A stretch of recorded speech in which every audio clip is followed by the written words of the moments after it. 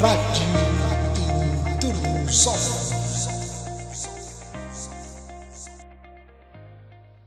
Em entrevista à Rádio Morabeza, José Maria das Neves, que foi primeiro-ministro de Cabo Verde durante 15 anos, admitiu a sua provável candidatura às próximas eleições presidenciais. Vamos escutar essa entrevista.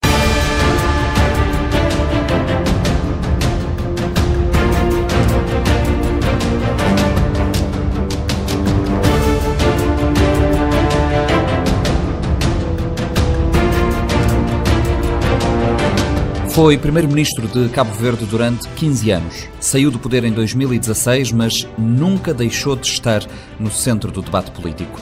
Seja pelo julgamento que se faz nesta altura dos seus três mandatos, pelas publicações eh, nas redes sociais, comentando temas da atualidade, ou ainda porque mantém uma espécie de tabu sobre uma eventual candidatura à presidência da República.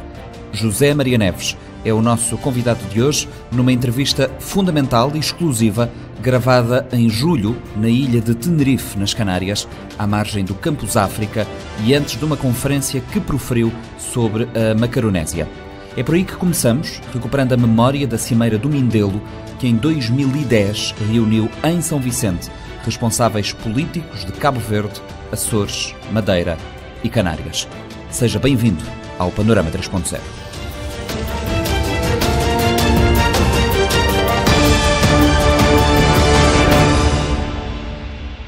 Oito anos depois, em que ponto é que uh, encontra uh, a Macaronésia? Muito se tem falado sobre, sobre a região, uh, mas em termos concretos, se calhar não há grande correspondência. foi um processo muito complexo a construção desta ideia da região da Macaronésia. Primeiro, porque eh, Cabo Verde é um Estado soberano e os outros três arquipélagos são regiões eh, ultraperiféricas da União Europeia e, e, regiões autónomas canárias de Espanha, Açores e Madeira de Portugal. E, uh, uh, por outro lado, porque há questões que têm a ver com o, o financiamento do uh, desenvolvimento eh, desses arquipélagos. Enquanto os três arquipélagos, regiões autónomas, têm um forte financiamento da União Europeia via Fundo de Desenvolvimento Regional, Cabo Verde tem um outro mecanismo de relacionamento, apesar da parceria especial, que é o, o, o Fundo Europeu de Desenvolvimento os recursos são desproporcionais e uh, uh, era necessário construir esta ideia a nível da União Europeia.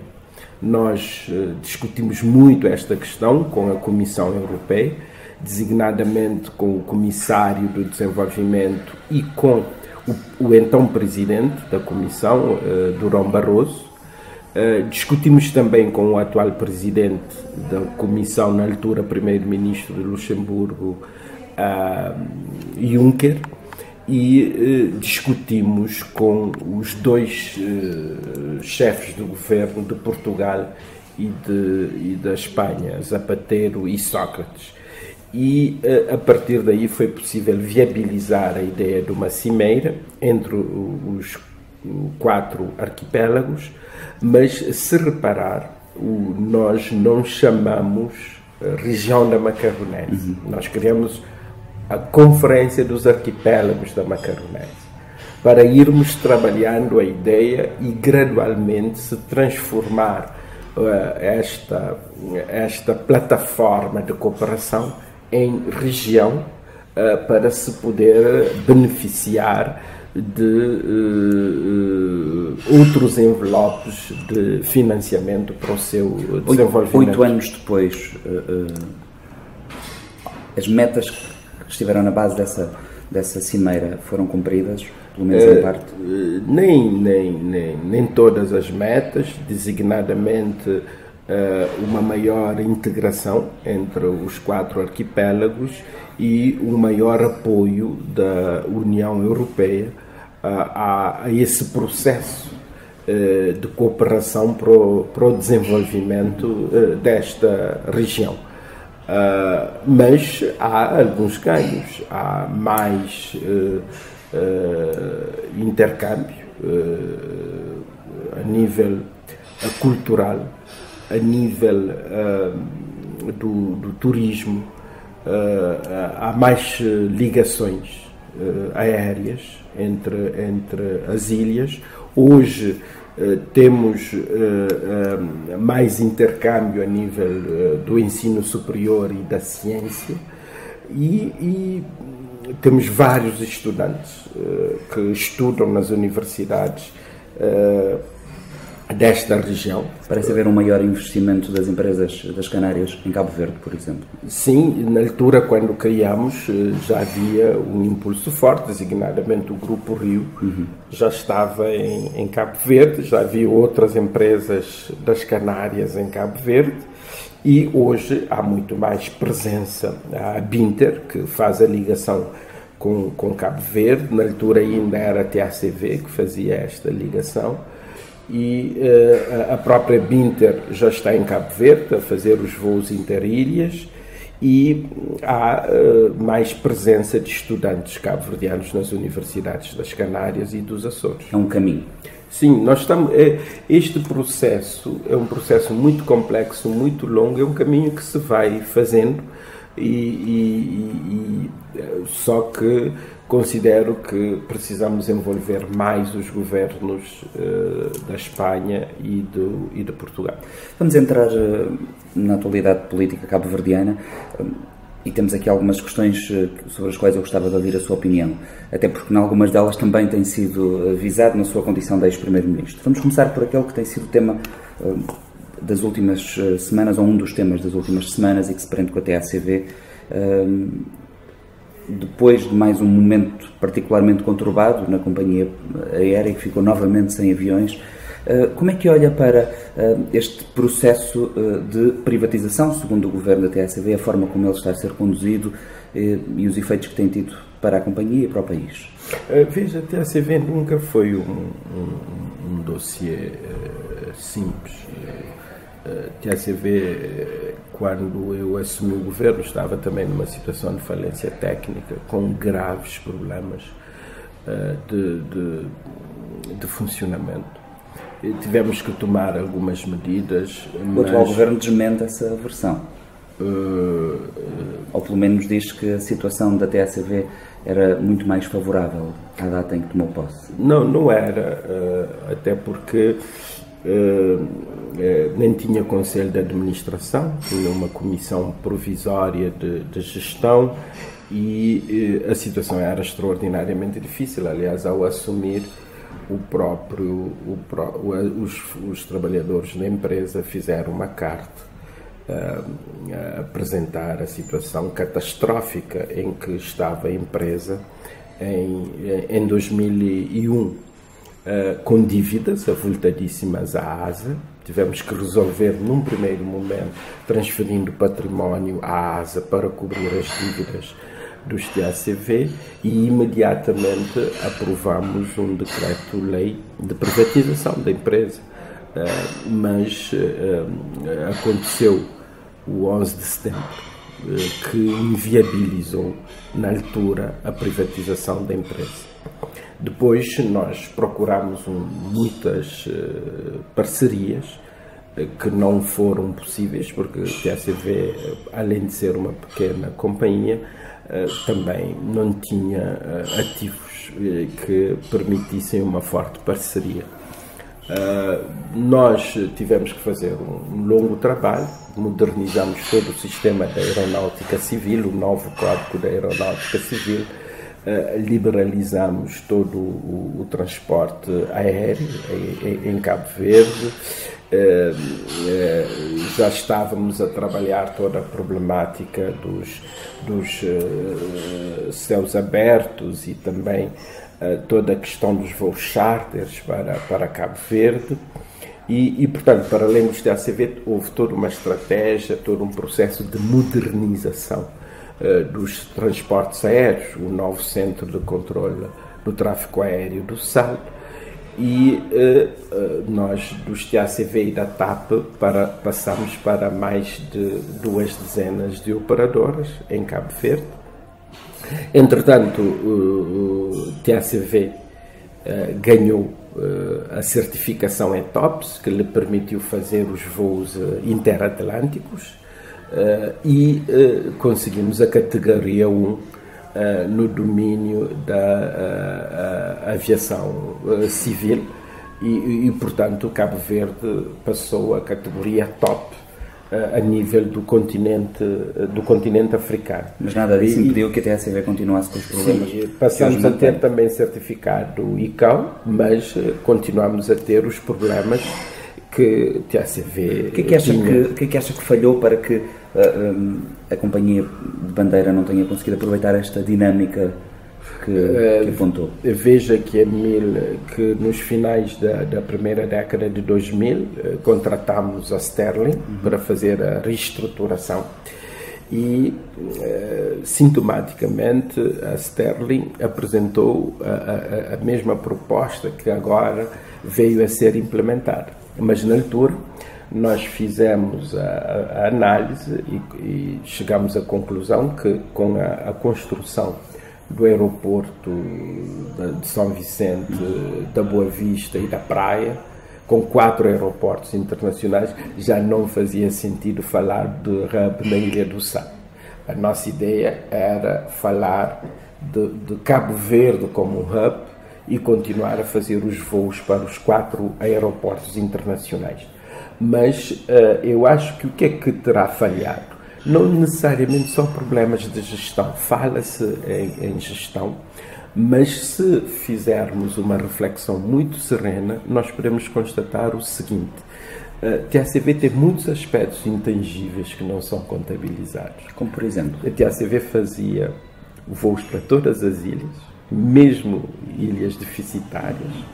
A TACV garantia eh, os transportes ou o escoamento dos passageiros quando há Uh, grandes atividades culturais ou económicas numa das, das ilhas e, e, e TACV fazia a evacuação dos doentes em todas as circunstâncias e fazia o, o, transporte de cargas das várias empresas e muitas vezes a TACV não era compensada uh, por, uh, por estes serviços e eram custos, uh, e, e, mas também ganhos intangíveis para pensa a sociedade cabo-verdiana. Pensa que o Estado se demitiu durante esse período uh, de algumas das tuas responsabilidades em relação à TCB, nomeadamente através da subsidiação das rotas que não eram rentáveis e são e Foi isso que aconteceu.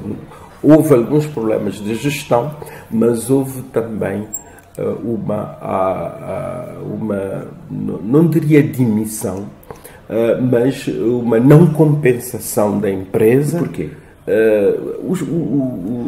Acho que foi toda uma inércia que já vinha de, de há muitos anos, desde sempre, que a ACV eh, não foi compensada por esses serviços.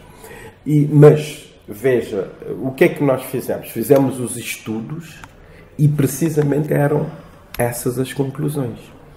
Portanto, em fevereiro de 2016, nós aprovamos uma resolução a dizer o seguinte: uh, as rotas deficitárias serão todas subsidiadas.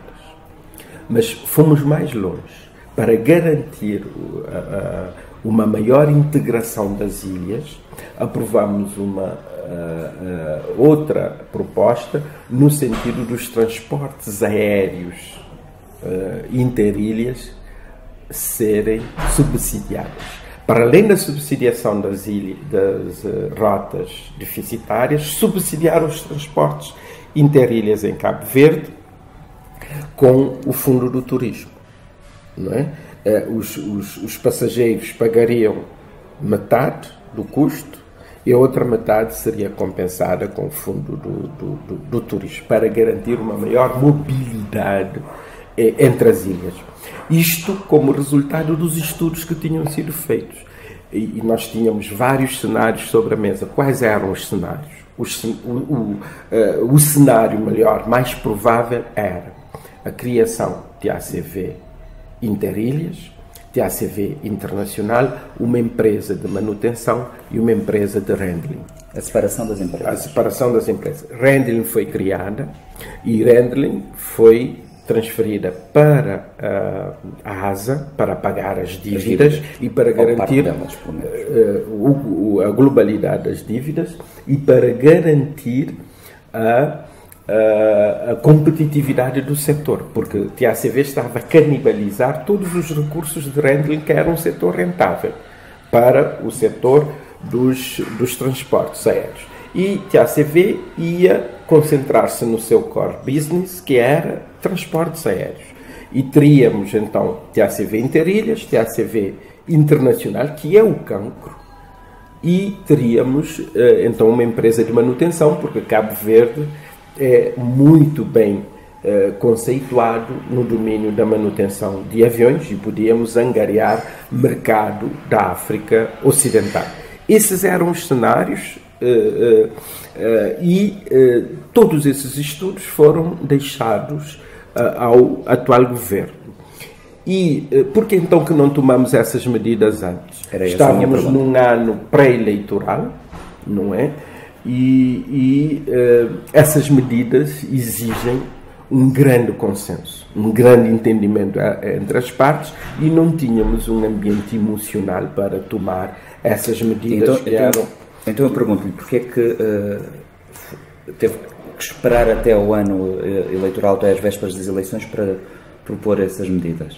Uh, a situação dos TACV sempre foi uma situação muito difícil. Num primeiro momento estávamos à procura de parceiros, não conseguimos esses parceiros para uh, tomar essas medidas. Foram experimentadas diferentes soluções. É? Diferentes soluções. Nós já tínhamos o, o, o Sterling uhum. e o Sterling, uh, depois não deu certo não por causa das soluções ou das medidas, mas por causa da excessiva politização do processo que impediu a estruturação a politização do processo, não só da oposição em relação ao governo, mas dentro da própria maioria. Portanto, foi difícil convencer. E a resistência dentro do próprio PAICV. Do próprio PAICV. Estruturar a PAICV. Ah, basta ver os jornais da época, as entrevistas de vários deputados e dirigentes do PAICV, que eram contra aquele processo de reestruturação que nós estávamos a desenvolver com a Sterling nós fomos até onde foi possível ir, mas chegou uma situação de insustentabilidade política daquele processo de reestruturação.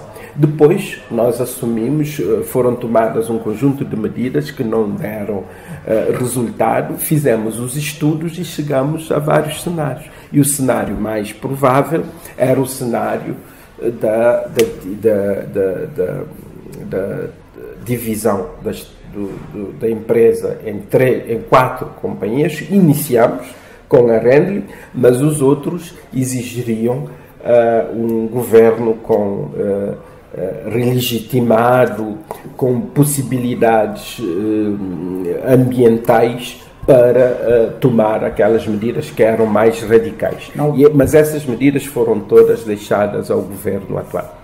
Em algum momento esteve em cima da mesa fechar a companhia? Uh, houve várias propostas neste sentido, mas eu sempre disse que não, porque considerei que o TACV era um grande ativo do nosso país e as pessoas estavam a analisar TACV de fora sem ter em conta os intangíveis. E nós, na análise da, empresa, TACV, não devemos analisar apenas os aspectos financeiros, mas uh, teríamos que considerar uh, todos esses intangíveis. TACV garantia as ligações uh, regionais, que, que, são estratégicas para Cabo Verde, e, TACV garantia a ligação do país ao mundo, garantia a competitividade em algumas linhas a competitividade não, a competição em algumas linhas para e, o que provocava redução de, de, de custos. O PSV, o, os TSV apoiavam o, o, a, a, nascente indústria uhum. em Cabo Verde, a integração entre as ilhas e um conjunto de outros serviços sociais. Portanto, teríamos que analisar todos esses aspectos intangíveis e, do ponto de vista estratégico, era fundamental uh, continuar, uh, do meu ponto de vista, a manter TACV interilhas, uh, com uma gestão privada garantir uh, TACV internacional, reestruturando-a para posterior privatização e ter uma empresa de manutenção e de handling para que pudéssemos ter serviços de transportes mais eficientes e mais sofisticados em Cabo Verde. Todas essas empresas com capital privado? Uh, uh, numa parceria entre o setor público e o setor privado. Eu nunca Uh, considerei, apesar de se ter posto sobre a mesa, o monopólio privado nos transportes interilhas. São os transportes interilhas e regionais são estratégicos para o futuro de Cabo Verde, para a sua modernização, para a sua transformação, para a sustentabilidade do desenvolvimento de Cabo Verde. Eu considero que o maior erro do atual governo foi ter uh, uh, desmantelado TACV Interilhas e, e ter permitido o monopólio nos transportes aéreos interilhas. Que preço é que o país pode pagar por isso? Eu acho que neste momento, se analisarmos toda a situação dos transportes, podemos considerar que vivemos uh, uh, piores momentos do que antes, não é? Uh, TCV era, uma, era um dossiê complexo, era muito difícil, mas eu acho que devia haver maior ponderação e maior consistência nas políticas públicas, não só para o setor dos transportes, eh, mas também para TACV. Não há muito tempo eu perguntei ao atual Primeiro-Ministro ehm, se uh, entendia que um, ehm, podíamos estar descansados com o facto de a Binter estar a operar no mercado de interilhas sem haver um contrato de concessão de serviço público e, portanto, não existindo verdadeiramente nenhuma, uh, nenhuma base contratual que obriga a Binter a cumprir esse, serviço. Pergunto-lhe mesmo assim, é um uhum. risco que o país corre ter uma operadora privada que, que faz que nunca se podia permitir sobretudo um monopólio privado sem um contrato de, de concessão de serviço público. Em que os transportes, num arquipélago, os transportes aéreos e os transportes marítimos são estratégicos. Nós temos algumas dificuldades nos transportes marítimos, porque os transportes marítimos em Cabo Verde são transportes eh, feitos eh, no alto mar e, eh, portanto, temos muito, muitos problemas na, na, na realização deste, deste transporte e, e conseguir barcos adequados uh, e, e, rápidos e seguros para fazer esses transportes. Mas uh, nunca deveríamos, não só em relação aos transportes marítimos, mas em relação aos transportes aéreos, sobretudo, permitir monopólios privados sem um serviço, sem um contrato de, de serviço, de, sem um contrato de concessão dos serviços. Aliás, no transporte marítimo, o governo avançou para um concurso internacional precisamente para a concessão. Devia ter feito o mesmo?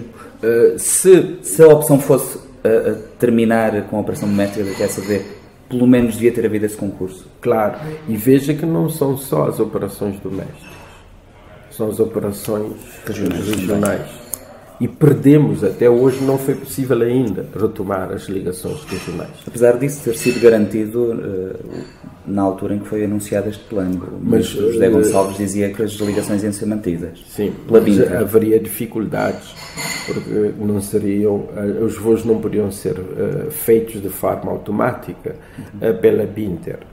depois, também o governo garantiu que as evacuações iriam ser feitas e que e, e, e Binter ia levar aviões uh, equipados uh, com condições para fazer uh, as evacuações. Viemos ver, ver, reparar mais tarde que não há um contrato, não há também condições para a realização das evacuações e que os voos regionais ainda não foram, não foram feitos. De modo que aqui há perdas enormes para o país, tangíveis do ponto de vista económico-financeiro, mas do ponto de vista estratégico também. Deixa-me pegar para a questão das evacuações. O governo devia ter negociado melhor com a Binter essa, essa questão? Claro, Parece que está a fazê-lo Porque agora, havia, havia um, um sistema de, de, de, de evacuação montado que a CV era obrigada uh, a fazer uh, as evacuações. Mas não havendo, o avião na guarda costeira uh, assumia imediatamente a evacuação. A evacuação. Em caso de falha dos TACV e da Binter, a Cabo Verde Express entrava imediatamente. Havia um, um, sistema mínimo de evacuações em Cabo Verde. nós tentámos outras soluções, designadamente helicóptero, nós não conseguimos por causa dos custos e, eh, e também uh, uh, dos custos iniciais e dos custos da manutenção. Porquê que os helicópteros nunca chegaram? Tem sido muito, uh, muito referido esse Sim, eu episódio. nunca disse que os helicópteros estavam prestes a chegar. Eu disse que nós estávamos a, a negociar e que poderíamos ter os helicópteros. Veja, nós, uh, relativamente aos helicópteros, nós uh, fizemos a promessa de, dos helicópteros chegarem a Cabo Verde para o sistema de evacuações. Optámos por helicópteros em vez de aviões por causa de Santo Antão, sobretudo, e da Brava. Da Brava. Uhum. E, mas acontece que imediatamente pedimos, uh, elaboramos o projeto e pedimos o, o, um programa à, à China. E, e quando recebemos o programa para dois helicópteros, e, e, e portanto eram uh, muito custosos. Uh, teríamos que garantir depois a formação e teríamos que garantir a manutenção e constatámos que não tínhamos condições e NPS eh, a, a, defesa e, e TACV não tinham condições de garantir os elevados custos.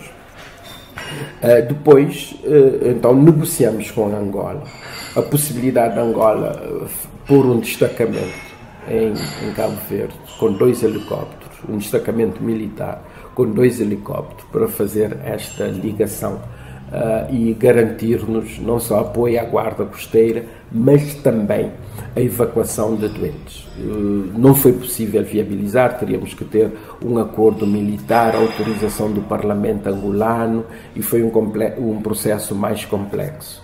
Uh, apesar da, da, vontade inicial do presidente José Eduardo Santos no sentido de apoiar uh, Cabo Verde, aliás, durante a evacuação, uh, durante a erupção vulcânica, colocou lá todos os meios aéreos para que pudéssemos garantir as ligações interilhas. depois, em 2013, apresentámos esse dossiê aos Estados Unidos um dossiê muito mais amplo de modernização da Guarda Costeira, que implicava formação de engenheiros nas diferentes uh, especialidades, de pilotos, uh, de comandantes, etc., de meios aéreos e, e, e, e navais, e incluindo três, três helicópteros. Houve uma grande abertura dos Estados Unidos, mas colocaram-nos a, a a questão, não diretamente, mas entendemos que teríamos que ter um SOFA para poder desenvolver este, este processo. Já lá vamos ao SOFA. entretanto, sobre estas evacuações, o Governo apresentou na, há duas semanas, sensivelmente, uma, uma solução aparente. Uhum. Uh, o acordo com uma empresa portuguesa, a, a colocação aqui de aviões aviocar, um avião transitório até que os aviocars estejam prontos. O que é que isto lhe parece?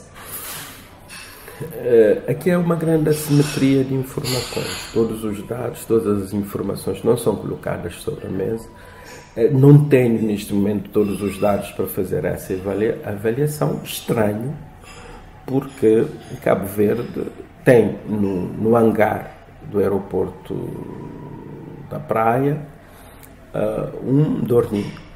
Que parece que vai ser cedido à, à empresa que vai fornecer os aviocares. Sim, que vai uh, fornecer uh, as duas, os dois aviões casa, que são os aviões da década de 70, que já estão descontinuados e que são vendidos como sucata neste momento.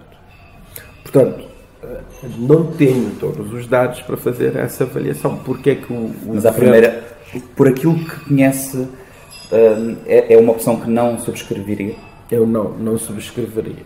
Neste momento, eu avançaria para a, manutenção do Dornier, criaria todas as condições para que o Dornier, que já está em Cabo Verde, garantir a evacuação em casos uh, especiais, estabeleceria um contrato com a Pinter para garantir uh, as evacuações também em situação de, de complementaridade e, portanto, desenvolveria um programa de modernização da guarda costeira, incluindo a aquisição de helicópteros para e, e as evacuações e para todo o sistema de controle e vigilância das nossas águas. Maria Neves, sabe que sempre que comenta algum tema da atualidade nacional, e este não é exceção, corre o risco de uh, o partido que está agora no poder lhe perguntar uh, porque é que não o fez quando esteve no governo durante 15 anos. Uh, veja, seria uma perspectiva muito reducionista das políticas públicas. Eh, eu, eu, eu perguntaria ao, ao, governo eh, anterior do MPD, que esteve 10 anos, por que não criou a universidade? Ou então ao, ao primeiro governo da República, por que é que não construiu os liceus? O primeiro governo, o que é que teve que fazer em 75? democratizar e garantir o acesso ao ensino básico. É?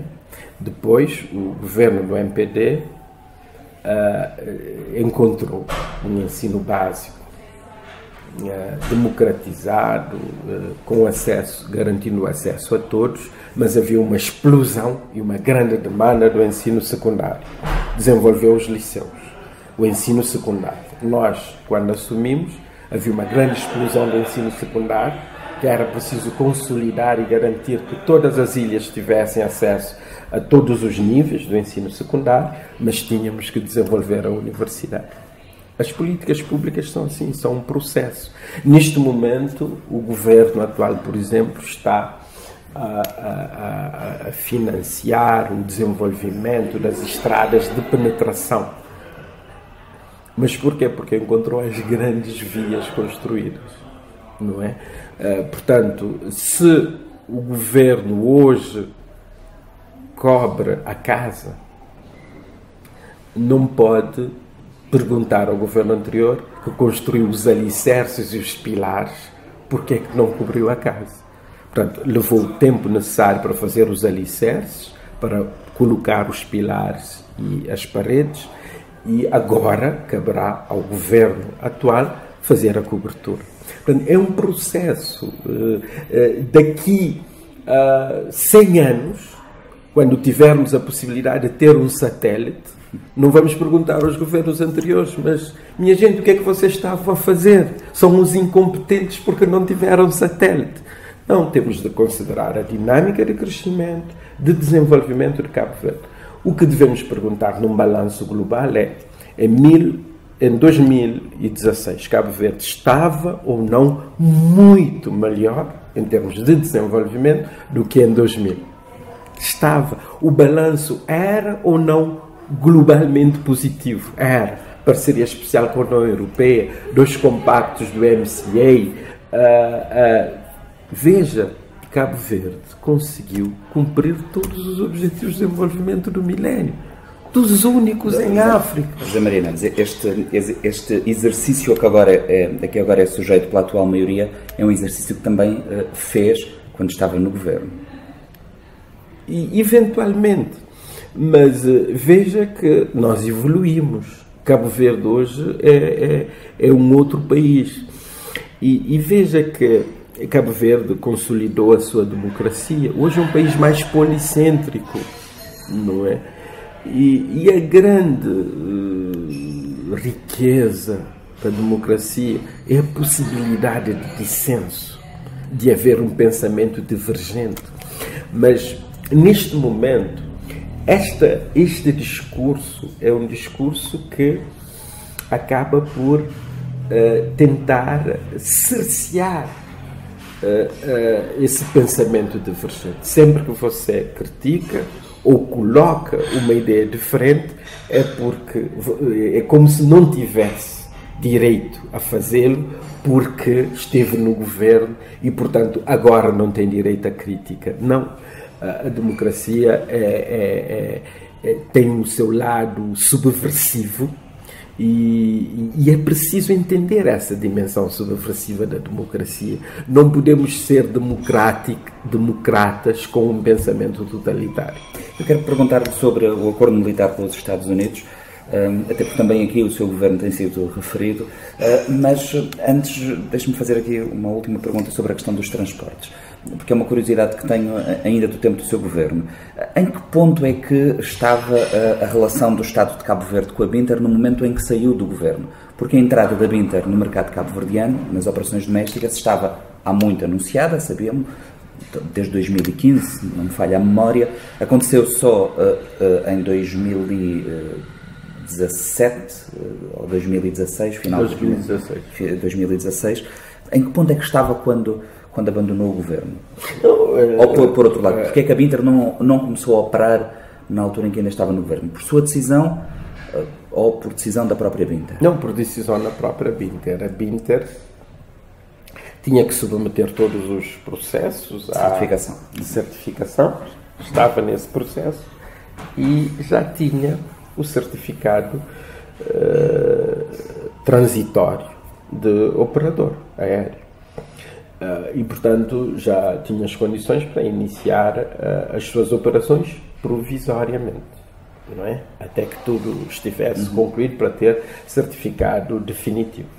Uh, portanto, estávamos nessa, nessa situação. Mas o meu entendimento é, é que, e, e, várias mensagens me chegaram nesse sentido, Binter quereria estar numa situação de monopólio.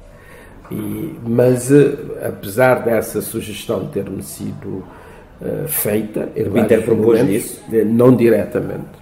Mas deu a entender que queria mas, operar sozinha no mercado? E, e, eu sempre disse que, que, que não. E, e, eu cheguei a propor a Binter uma parceria então no quadro do STACV. E disseram-me que a cultura do STACV era uma cultura muito deficitária, que não eh, levava à, à, à eficiência da própria empresa. Uh, o que eu disse é que podíamos fazer uma profunda reestruturação e av avançar por uma companhia nova, mas que podíamos estabelecer uma parceria e criar uma empresa nova de transportes aéreos interilhas, em que teríamos a, a, participação da Binter, mesmo podendo ter um contrato de gestão, a participação de privados nacionais e a participação do Estado. Então acha que quando a Binter começou a operar no final de 2016 e apesar de na altura a TACV ainda estar a operar no mercado doméstico, de alguma forma já poderia ter a garantia de que a prazo a TACV se retiraria dessa operação? Não, a Binder só começou a operar uh, com a garantia da, da, retirada dos TACV, porque logo de, de seguida... O... Apesar de na altura isso ainda não ser público, na Sim, altura não mas, sabia. Mas veja que acho que o Ocean Press uhum. terá feito a notícia imediatamente que ia ver. A notícia foi desmentida pelo Ministro da Economia e logo depois viu-se que, na verdade, eh, as coisas já estavam devidamente encaminhadas. E poucos meses depois, de facto, uhum. a TSB acabou mesmo por sair do mercado. Uh, acordo militar com os Estados Unidos. Uh, muito se tem falado também sobre este acordo. Parece-me que algumas das uh, críticas que são feitas ao acordo também resultam de algum desconhecimento do âmbito real do acordo. Assim, o que é que lhe parece este, este entendimento? O acordo, do, do eu acho que, que devíamos avançar para um acordo, SOFA, com os Estados Unidos, eh, nós estávamos a fazer esta negociação, uhum. já vinha desde, desde há muitos anos, oito anos mais ou menos. Formalmente, a proposta do acordo foi eh, feita em 2008, eh, mas depois da apresentação dessa proposta, nós pedimos, criamos uma comissão interministerial e houve um conjunto de pareceres, pareceres de uh, das alfândegas, uh, do, uh, da, da Direção-Geral de Contribuições e Impostos, da ANAC e de todos os outros setores uhum. envolvidos, porque o acordo tem várias, várias valências. valências. E também de vários juristas e personalidades independentes. Alguns juristas apresentaram a, a, ideia da inconstitucionalidade de algumas das, das disposições. Outros juristas propuseram adaptações. Uhum. E já estávamos no final de 2016, uh, uh, finais de 2015, inícios de 2016, a, a preparar as propostas de alteração de alguns artigos para propor aos Estados Unidos.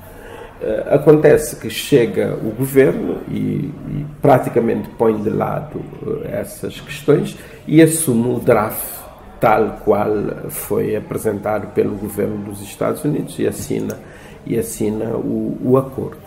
Portanto, o governo reagiu a essa notícia e diz que não.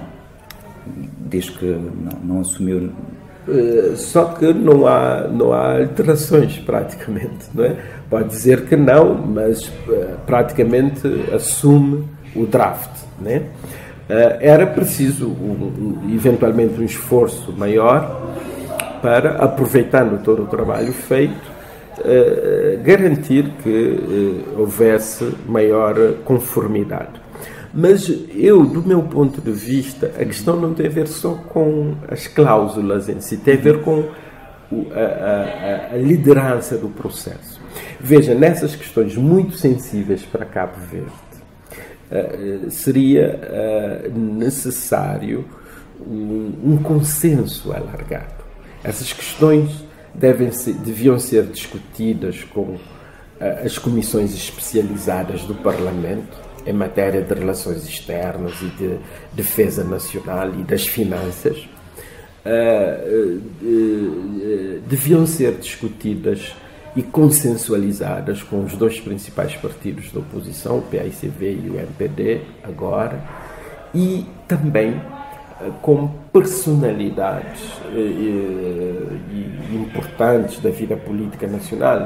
Refiro-me ao ex-presidente da República, eh, refiro-me a ex-ministros dos negócios estrangeiros e da defesa que têm um entendimento desta matéria, um forte envolvimento do Presidente da República, para que, ao chegar ao Parlamento, não haver debate e haver uma, um, um, a construção de, de, de, de, compromissos e de consensos em torno desta matéria. São questões sensíveis. Veja, a questão tipo, tipo TACV, uh, eh, tipo SOFA, uh, uh, até porque nós temos outros acordos. Nós fizemos os acordos que viabilizaram os exercícios da militares NATO. da NATO.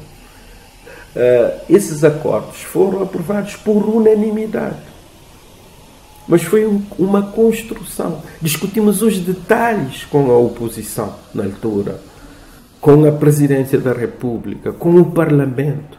E Chegamos lá, o dossiê foi aprovado por unanimidade. Então, no seu entender, o que está aqui em causa, acima de tudo, é a falta de diálogo transversal? A falta de diálogo. Eh, nós fazemos a política de forma bruta no Parlamento. A política ainda é matéria bruta em Cabo Verde. Porquê? Porque a política ainda é feita não só de forma muito partidarizada, mas numa relação de amigo-inimigo.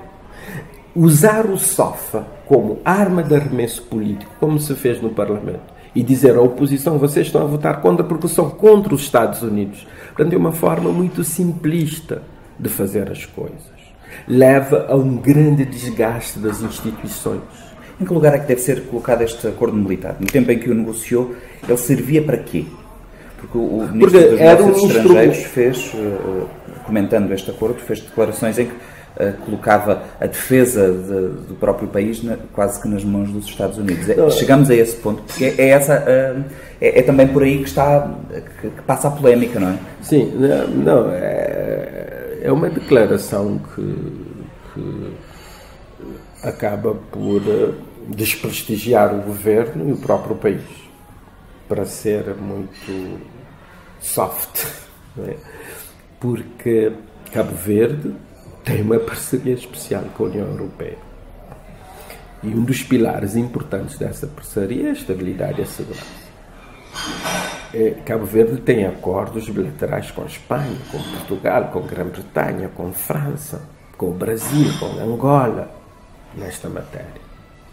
E também acho que deve ter um acordo com os Estados Unidos como um dos parceiros.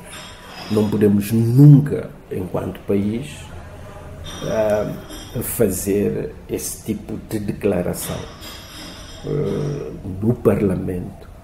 Uh, e, portanto, achei que, no mínimo, essas declarações são extremamente graves. O, o, este acordo não explicita a questão da, da instalação de uma base militar no, no, arquipélago, mas abre a porta para isso? Não sei, não, não sei se abre a porta, acho que não, eh, não necessariamente. Eh, abre as portas para um reforço da cooperação no domínio, no domínio eh, da defesa e da, e da segurança. relativamente ao Parlamento, gostava de ver o atual Primeiro-Ministro mais vezes no Parlamento?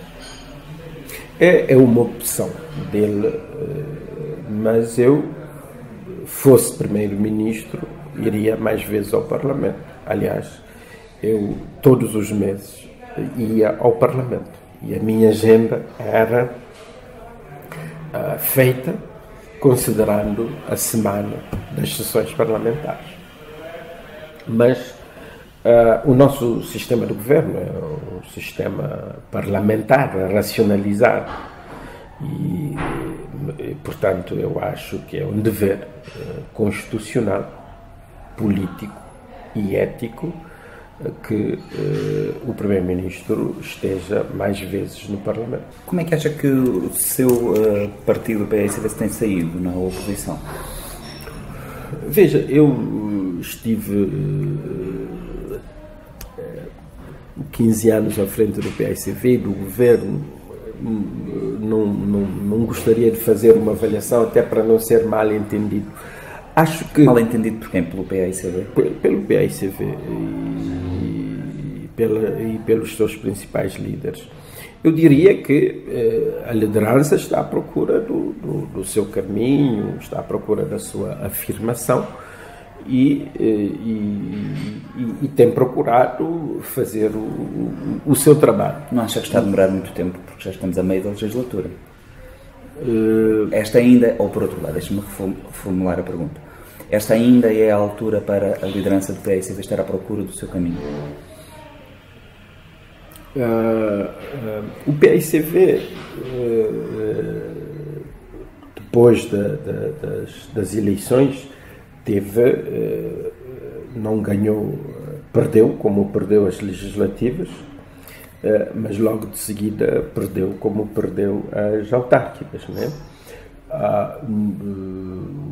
e portanto está numa situação difícil, há um, feixe de causas, não é? O desgaste do, dos 15 anos do governo, uh, o facto de termos experimentado uma solução de transição com um primeiro-ministro que não era presidente do partido, etc. E uh, é natural que depois de, de, deste processo ainda uh, esteja à procura de uma forte afirmação da nova liderança no, no contexto político cabo-verdiano. Essa solução transitória que referiu era primeiro-ministro, tinha um, uma líder do partido. Um, Causa-lhe algum tipo de incómodo hoje em dia? Acha que isso funcionou mal? Fosse hoje. Houve ali um ou outro momento de alguma tensão, sabe? Claro, era uma experiência nova. E se fosse hoje? Uh, fosse hoje, eu procuraria outros cenários. Né? Teria, Mas, teria, por exemplo, saído mais cedo do governo deixando a líder como primeira-ministra? Uh, não sei qual seria o resultado disso, né? porque estaremos sempre na, a falar de, de, de, de especulações, não é? Eh, na altura, a situação era muito complexa. Tínhamos saído das eleições presidenciais numa situação de forte divisão. Uhum. Era necessário juntar as diferentes partes, fazer muitas concessões para garantir a estabilidade governativa e garantir que chegássemos ao fim da legislatura. Foi o que eu tentei uh, fazer. Uh, e eh, é claro que aquela disputa em 2014 veio uh, acicatar os ânimos e veio uh, reabrir algumas feridas que já vinham das eleições presidenciais. E tudo isso prejudicou o processo. Não sei se foi só o facto de haver um primeiro-ministro e uma líder da, do partido de frente. Mas é claro que com a experiência que eu tenho hoje e com os dados que eu tenho hoje, e eu uh, optaria por um cenário diferente uh, que uh, não passaria por esta situação. Acha que quem perdeu as eleições legislativas em 2016, perdeu as autárquicas, um partido que se afastou da disputa das presidenciais nesse ano, tem condições para voltar a disputar as mesmas eleições em 2020 e 2021? Uh, fosse eu, não, não faria esse percurso. Ter-se admitido depois de perder as eleições? É uh, teria tomado outras, outras medidas. Mas uh, uh, não, não, não posso colocar-me na, na posição da atual líder. Ela faz a sua avaliação, analisa e toma as melhores decisões conforme entender. E acha que a atual, líder, a atual liderança vai chegar à disputa eleitoral de 2021? Acho que essa é a perspectiva da atual liderança e deve estar a trabalhar nesse sentido. E com condições eh, reais para, para vencer essas eleições? Bom, eu não tenho os dados concretos neste momento. Eh, as eleições, eh, talvez seja ainda cedo, mas as eleições dependerão do, do, do, da situação política na, na, na altura. Não é assim tão cedo. Já estamos com a legislatura praticamente a meio, não é? A meio, mas o próximo ano é um ano pré-eleitoral, uhum. teremos as eleições autárquicas e o processo político é extremamente dinâmico, não é? Vai depender do que acontecer no próximo ano, 2019, e nas eleições autárquicas de 2020. Como é que uh, decorre a preparação da sua candidatura presidencial 2020? É, veja, é, muito sinceramente, eu ainda não tomei nenhuma decisão se serei ou não candidato. Não tomou uma decisão ou não nos quer dizer que já tomou a decisão? Custa-me um pouco a crer que uh, uh, José Maria Neves é conhecido como uma pessoa pragmática e que pensa uh, a longo prazo. Custa-me um pouco a, acreditar que ainda não tenha tomado uma decisão sobre isso. Ainda não tomei uma, uma decisão eh, sobre as eleições presidenciais. Eventualmente, eh, em 2019, 2020, inícios de 2020, ainda antes das eleições autárquicas, terei uma decisão mais, mais trabalhada. Eu não tenho obsessão em ser Presidente da República. Eh, estou neste momento muito concentrado. Mas apetece-lhe ser Presidente da República? Como? Apetece-lhe ser Presidente da República? eu uh, gostaria imenso de continuar a contribuir politicamente para o desenvolvimento do meu, do meu país. Depois de ter sido Primeiro-Ministro, esse contributo tenho, político? Sim, acho que eu tenho. A avaliação que eu faço é que eu posso contribuir é, muito para uh, o desenvolvimento político, económico e social como do meu da país. República, por exemplo. Como Presidente da República, por exemplo. Uh, mas isso não depende só de mim, depende das circunstâncias políticas. Depende essencialmente de si e, e da de, sua vontade de ser candidato. Claro, eu acho que política ou uma candidatura deve ser uma questão de, de, de vontade. E, e, portanto, eu desconfio daqueles políticos que dizem que não têm ambição ou que não. Uh, ou que estão na política por sacrifício. Não, não, não, não. A política tem que ser feita com muita alegria, com grande satisfação e tem que haver uma vontade de servir Portanto, uh, o bem comum. Posso concluir uh, que uh, quer ser candidato e só não me diz que sim porque quer esperar para ver se as circunstâncias de facto tornam isso possível. Não, eu, isso o que eu estou a dizer é que eu posso ser candidato a Presidente da República. É uma possibilidade. Mas ainda não tomei. É uma possibilidade com alto nível de probabilidade. Com alto nível de probabilidade. Mas eu ainda não tomei essa, essa decisão se uh, serei ou não candidato. Vai depender de um conjunto de, de circunstâncias, como eu já lhe disse. José Maria Neves, muito obrigado. Obrigado. Eu.